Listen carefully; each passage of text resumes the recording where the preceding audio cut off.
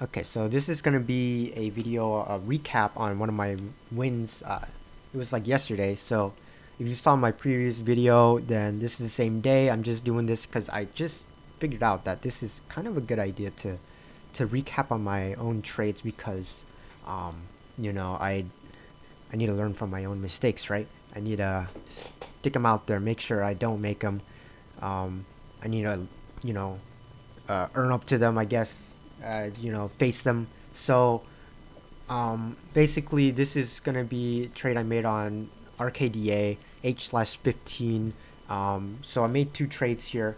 My first trade was um, was around eight dollars twenty here. I saw these two dojis you know I, the, I mean basically in the um, in tape here it was you know a lot of indecision here for like a couple minutes here. So I was waiting for a big drop and here we go. We get this nasty washout from nine dollars fifteen well basically well nine dollars to to all the way down to eight dollars twenty right? So when I saw this first of all when I saw it drop all the way to eight dollars fifty to the VWAP I was like okay well it dropped this far right? And it was pretty fast. So I think it's probably gonna drop down even more right? And and it sure did right? It cracked through the VWAP and it, it got to eight dollars twenty here um, I'm trading with 500 shares the whole time too. So um, let me see where I get that resistance. I got the resistance from pre-market here. It's been bouncing off $8.20 here. You know, that's kind of like the, the, the key point where I was watching. So of course I was watching that when this happened.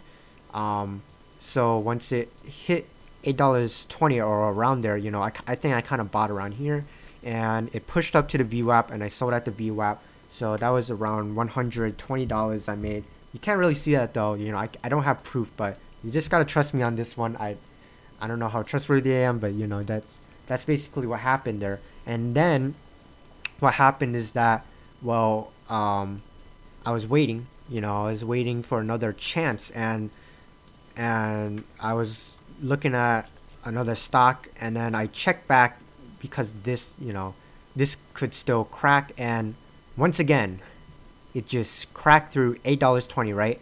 I was like, I bought down here uh, around $7.95. And then the thing is that, well, here's a mistake that I made. So I sold, I think, earlier than I should have because I sold at around $8.10.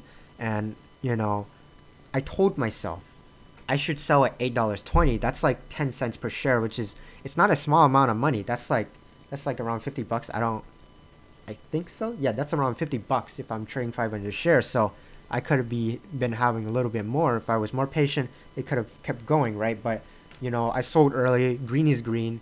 Um, I guess I need to learn to be more greedy. But nah, you know, I'd rather have a green day than than risk it and have this thing fall again. So, you know, after that, I walked away from the market. You know, had some breakfast, and that was it. So yeah, I was 240 bucks up on the day, and my commission was only like 20 bucks.